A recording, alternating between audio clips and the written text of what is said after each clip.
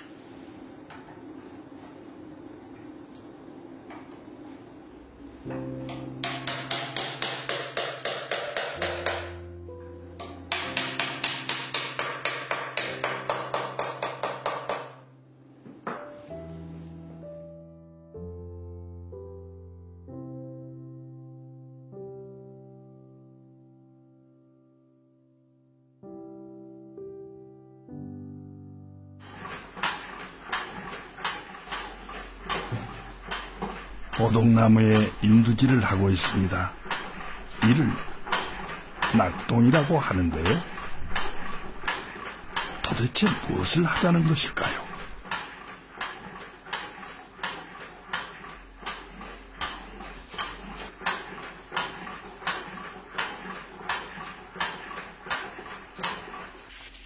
솔질의 강도와 횟수에 따라 결과는 확 달라진다고 합니다.